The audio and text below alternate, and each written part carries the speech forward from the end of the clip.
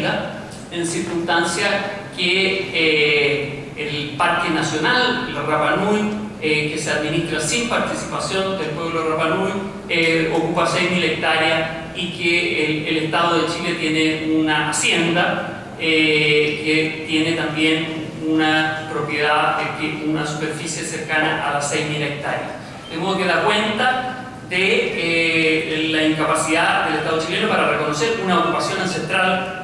indudable. Eh, ahora, em, no hay tiempo para referirse a los recursos naturales, a los derechos de los pueblos indígenas sobre los recursos naturales, pero una de las eh, evidentes y de las más graves carencias de la legislación del año 93 es que no reconoce eh, los derechos de los pueblos indígenas sobre los recursos naturales, salvo en el caso del agua, en el caso de los pueblos andinos o del norte. Eh, y derecho que ha sido reconocido también por la jurisprudencia de la Corte eh, Suprema, un derecho eh, de uso ancestral. Lo que ha ocurrido, ¿no es cierto?, es que a pesar de esos reconocimientos propietarios y a mercado, a precios que han subido entre 1994 y el 2000 en un 600%, de acuerdo a estudios de un centro de estudios vinculado al empresariado, eh, a pesar de ello, eh, hay una expansión, de la, por ejemplo, de la industria forestal que ocupa 2.5 millones de hectáreas, la mayor parte de ella sobreponiéndose con el territorio ancestral del pueblo mapuche. Eh, y en el caso del norte, en el caso del pueblo licanantay, yo señalaba que esas 2.5 millones de hectáreas que fueron identificadas en forma conjunta con el Estado fueron eh, paralizadas, eh, ese proceso de, restitución, eh, por cuanto es el corazón minero del país, donde tanto empresas públicas como empresas privadas tienen exploraciones y explotaciones crecientes, siendo este un país minero. Ahora, ello ha llevado a, los, a las instancias de derechos humanos internacionales, no hay tiempo para eh, eh, referirse en profundidad a ello, a llamar la atención al Estado de Chile reiteradamente desde el relator Anaya en 2009, el Comité para OIT a través de sus órganos eh, de interpretación de tratado y el Comité de Eliminación de Discriminación Racial a llamar la atención sobre esta política y la incapacidad de esta política de reconocer aquellas tierras de propiedad eh, ancestral eh, y a reformar tanto su legislación como sus políticas para adecuarlas a los estándares del derecho internacional. Me quedan cinco minutos y eh, sería muy... No me voy a referir al derecho internacional porque ya se han referido el primer panel al, al Sistema Interamericano de, Derechos Humanos, a la OIT, pero sí déjenme dar cuenta, aunque sea brevemente, de las evoluciones eh, que ha habido en la región. En la región, a diferencia interesante, estos paneles que contrastan las realidades jurídicas y políticas y culturales distintas, el derecho internacional ha tenido un, fuertísimo impacto en América Latina. No solo por la vía de la ratificación del convenio 169, 15 de los 22 estados, sino que por el proceso de domesticación, de incorporación de los estándares del 169 en los ordenamientos internos constitucionales y también por el proceso de incorporación eh, de los tratados internacionales en el bloque de constitucionalidad eh, de eh, los ordenamientos jurídicos de acuerdo a la interpretación dominante de las instancias jurisdiccionales, Cortes Supremas, tribunales o Cortes Constitucionales. eso, además de los procesos políticos de esta región, ha llevado eh, a tres casos que a mí me parecen muy destacados. El caso de Bolivia, eh, que tiene una demografía indígena eh, tremenda, del 60%, donde prácticamente un tercio de Bolivia hoy está en un proceso de conversión en lo que la constitución del 94 llamaba tierras comunitarias de origen y lo que la constitución del 2009 reconoce como territorios indígenas, originarios y campesinos, por niveles crecientes son los espacios en café y, los espacios las tituladas en rojo y los espacios demandados eh, en café, con niveles importantes de eh, autonomía, de justicia propia y de derechos sobre recursos naturales, no sin conflicto como eh, sabemos. El caso de Brasil es un caso tremendamente interesante porque Brasil tiene una demografía indígena del 0,5% de su población. Sin embargo, a partir de la constitución del 88, que reconoce que son tierras indígenas las tierras de ocupación ancestral, pero que sin embargo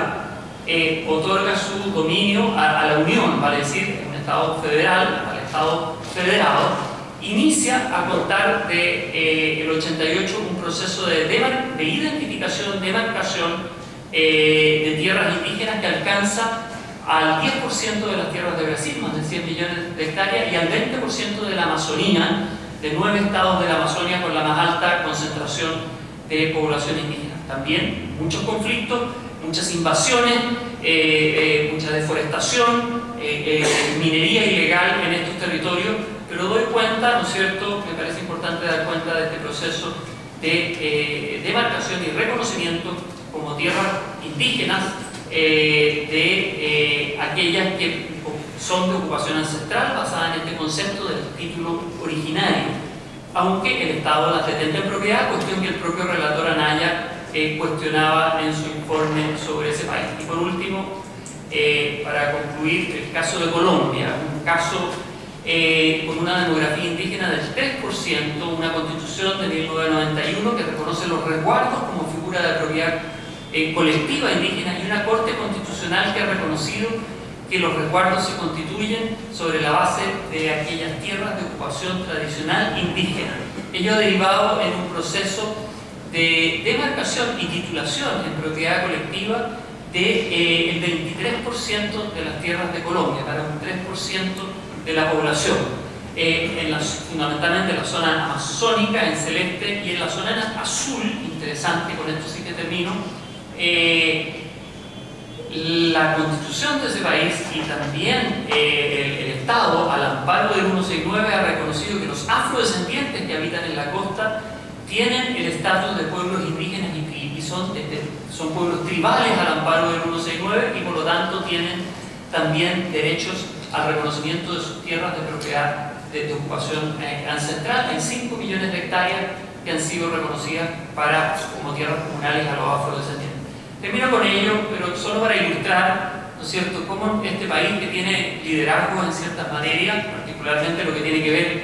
con su inserción en los mercados globales, con la inversión, eh, está tremendamente rezagado en lo que es la aplicación de, estas, eh, de, estos derechos que han sido reconocidos a nivel internacional a los pueblos. Gracias.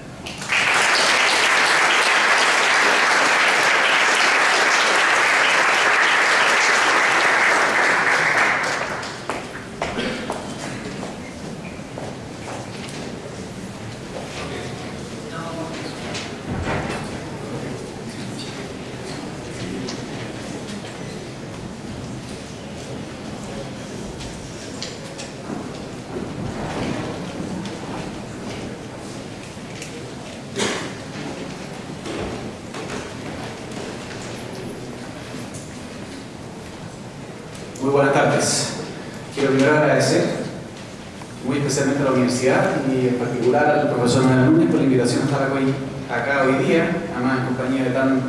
prestigiosos expositores que me acompañan. Lo que quiero hacer en esta presentación eh, es modestamente tratar de compartir con ustedes algunas reflexiones y comentarios respecto a la forma como hoy día conversan, o no conversan, podrán decir algunos de ustedes, el convenio 169 y la ley indígena, desde que el convenio eh, entró en vigencia en el año 2009. Si partimos por la ley indígena, lo primero que tenemos es que la ley indígena, eh, podríamos decir que reconoce las tierras indígenas en sentido estricto, en sentido restringido.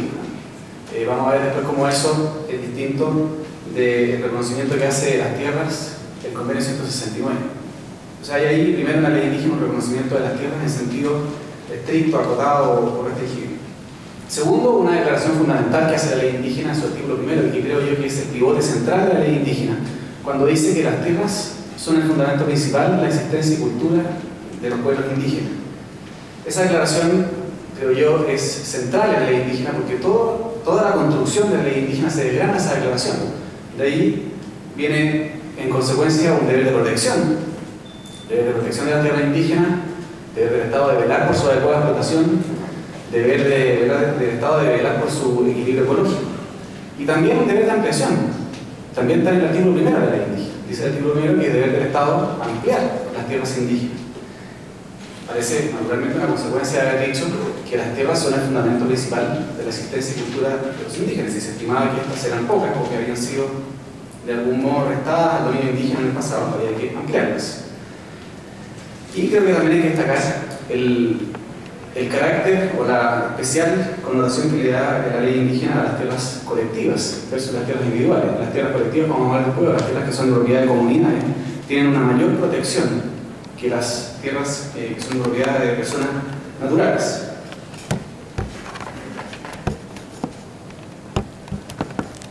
Si nos vamos al convenio 169,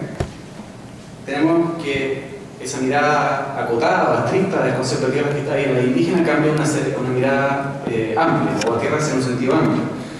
Eh, y este tierras en sentido amplio tiene un doble cariz. Un primer cariz tiene que ver con el concepto de tierras propiamente, cuando el convenio se refiere a tierras en sentido no solo de las tierras respecto a las cuales una comunidad puede o una persona puede eh, mostrar, por ejemplo, un título de dominio, que es lo que uno está acostumbrado, sino que las tierras, por ejemplo, como decían otros expositores, a las cuales los indígenas han tenido acceso tradicionalmente. Y así el convenio habla de las tierras que los pueblos indígenas ocupan o utilizan de alguna u otra manera. Ustedes ven, el concepto obviamente es mucho más amplio que el concepto de ley indígena. Eh, también el convenio tiene una declaración parecida a la de la ley indígena. Uno podría decir que la ley indígena fue aprobada en el año 93, el convenio era del año 89 convenio ciertamente se tuvo a la vista e inspiró buena parte de las disposiciones de la ley indígena. Y el convenio cuando eh, habla de las tierras eh, se refiere a, o dice que los gobiernos deben respetar la importancia especial que para las culturas y valores espirituales de los pueblos interesados reviste su relación con las tierras o territorios. Y después agrega en particular los aspectos colectivos de esa relación. Esto está, me parece a mí una formulación un poco distinta, pero no necesariamente eh, una formulación distinta, al final el concepto, el mismo concepto que tiene la ley indígena cuando dice que las tierras son el fundamento principal de la existencia y cultura de los indígenas. Eh, y después agrega el convenio del concepto de territorio. Ahí dice que cuando los artículos tales iguales se refieren a tierras,